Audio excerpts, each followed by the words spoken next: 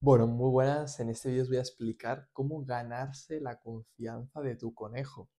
Este vídeo te sirve tanto si acabas de tener un conejo hace poco y quieres aprender cómo ganarte su confianza, como si no tienes un conejo para saberlo, cómo hacerlo correctamente desde el principio y no cometer errores con eso tan importante, o si ya tienes un conejo adulto y que no, es un poco arisco, ves que no se acerca mucho a ti o que pasa de ti, incluso a lo mejor te tiene miedo vamos a ver cómo ganarte también su confianza, por lo que os sirve prácticamente a todas las personas que queráis tener un conejo que tengáis un conejo, ¿vale? Entonces, nada, vamos a empezar por el punto número uno y es súper importante. Y lo primero de todo es entender que es un animal que, que, bueno, que tiene... Lo primero, el... Bueno, punto número uno, y es muy importante, es tenerle paciencia, ¿vale? Esto es súper importante porque no creas que a lo mejor con lo que te voy a explicar en este vídeo vas a tener de un día para otro el conejo ganado, sino que va a ser un trabajo de, paciencia, va a ser un trabajo de unos días o incluso unas semanas o más, ¿vale? Por lo tanto, ten paciencia, no quieras ir rápido, porque muchas veces si vas rápido y quieres forzar las cosas, es peor y vas a, vas a crear más distancia entre tu conejo y tú, porque es como que se va a sentir presionado, ¿vale? Entonces vamos a ir poco a poco, tenerle paciencia. Hola, ¿qué tal? Estaba aquí editando el vídeo en el sofá y justamente os quería compartir una noticia muy buena y es que volvemos a tener Instagram porque hoy he creado una nueva cuenta de Instagram desde cero, ¿vale? Ya que tuvimos problemas, nos cerraron, nos cerraron las otras cuentas de Instagram, no sé por qué. Y ahora tenemos ya la nueva cuenta que os la dejo por aquí para que nos vayáis a seguir ahora ya que vamos a compartir noticias cada día, bueno, cada día de forma periódica de los conejos, novedades que por aquí no podemos compartir del día a día y todo eso, por lo tanto va a estar muy chulo. Nos vemos por allí. Por cierto, si no estás suscrito en el canal, suscríbete porque vamos a subir vídeos muy chulos sobre cuidados de tu conejo, sobre el blog de nuestra granja, que tenemos una granja como conejos como animal de compañía y enviamos a toda España. Por lo que si te interesa un conejo me puedes contactar en la descripción y te mando toda la info. Y bueno, el punto número dos, este es muy importante, es juega a que el conejo venga a ti y no persigas al conejo. ¿Cómo se hace esto? Esto lo hemos hablado en algunos vídeos y es básicamente no ir tú detrás del conejo para, para interactuar con él, sino crearle curiosidad al conejo y que él venga hacia ti. ¿Cómo se consigue esto? Imagínate tienes el conejo en una habitación. Pues en vez de, a lo mejor el conejo está acostumbrado a que tú vas, le pones de comer y todo eso, el conejo es como que, bueno, se, esconde o, no quiere interactuar contigo, o a ratos sí, a ratos no, ¿vale? ¿Qué puede pasar? Entonces vamos a cambiar por completo esto y vamos a sentarnos o a tumbarnos eh, con un poco de distancia, pero que el conejo nos vea y sepa que estamos allí. Tipo, túmbate allí y hazte el loco, ¿vale? Hazte como que si el conejo no existiera. O siéntate y ignórala un poco. Tipo, si se acerca un poco y tal, no empieces a tocarlo desde el principio. Pasa de él. Y verás que el conejo es como que va a querer llamar tu atención muchas veces y va a venir, se va a subir, va a empezar olisqueando, a ver qué, está pasando aquí. Luego a lo mejor se sube encima tuyo, luego a lo mejor te da con la cabecita y como que quiere llamar tu atención. Entonces, ¿qué vas a hacer cuando esto pase? Tú vas a tener preparado algún premio para el conejo, algún premio que os voy a dejar en la descripción, unos premios que pueden, son aptos para conejos y son naturales.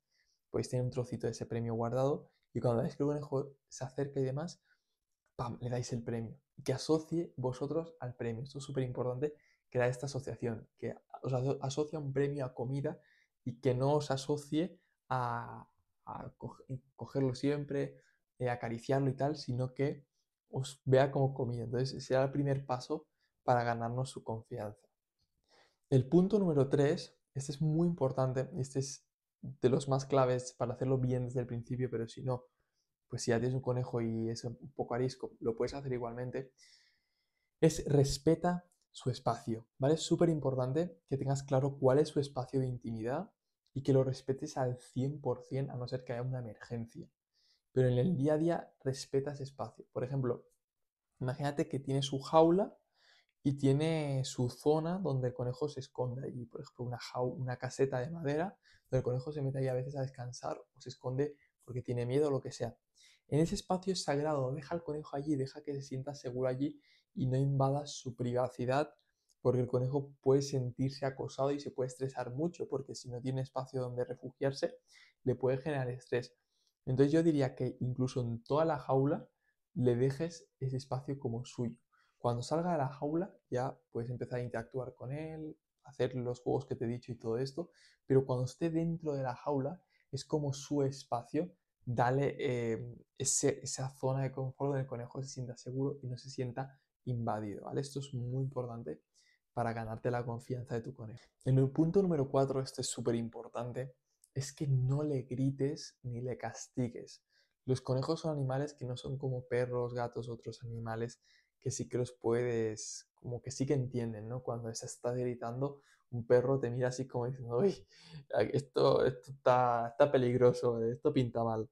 Pues un conejo no lo entiende. Entonces, si le gritas, él no va a entender que se está portando mal, él lo va a ver como una amenaza y como un peligro muy grande. Entonces, puedes crearle mucho rechazo, puedes crearle mucho estrés y puedes crearle que te tenga como una asociación muy negativa.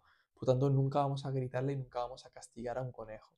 Vamos a mirar de hacer siempre, eh, premiarlo cuando lo hace bien, ignorarlo o simplemente cogerlo y guardarla en la jaula sin decirle nada cuando lo hace mal, ¿vale? Esto es súper clave porque ya os digo, son animales que se lo pueden tomar como muy, muy personal y estresarse bastante si le gritas o le castigas. El punto número 5, y este punto es de los más importantes, sobre todo para personas que solo tengáis un conejo en casa, es plantearos ponerle un compañero. Muchas veces los conejos son ariscos o tienen más miedo si solo hay uno, no siempre obviamente, pero porque se sienten solos. Los conejos son animales que en libertad viven en grupos y se sienten más seguros cuando son mínimo dos porque sienten esa confianza, se sienten respaldados, sienten que hay otro de su misma especie y cuando hay dos conejos suelen ser más cariñosos entre ellos y más cariñosos contigo y menos asustadizos por lo general. Por, por lo que si ya tienes un conejo y ves que no es muy cariñoso o es un poco asustadizo, planteate tener dos conejos para que se hagan compañía y, eso, ¿vale? Entonces, bueno, este consejo es de los más importantes y de hecho si tenéis solo un conejo y es arisco con vosotros, sin duda me plantearía ponerle un compañero. Parece a principio como contradictorio porque dices, vale, si tengo uno, si tengo dos, van a pasar de mí. O si tengo dos, va a pasar lo mismo. Para nada, o sea, es al contrario. O cuando tienes uno y es un poco arisco y pones un compañero, al, estar los dos se sienten más confiados y van a ser mucho más cariñosos contigo, van a querer jugar más y van a estar como más tranquilos, ¿vale? Bueno, perdón, se me había cortado el vídeo, pero nada, lo sigo ahora. Eh, que como sabéis, si queréis tener un conejo como animal de compañía, yo tengo una granja de conejos mini lop que no son como estos, tienen las orejas caídas y son preciosos, tenemos colores espectaculares y aparte el carácter es muy bueno en nuestros conejos en general, obviamente, cada conejo es diferente.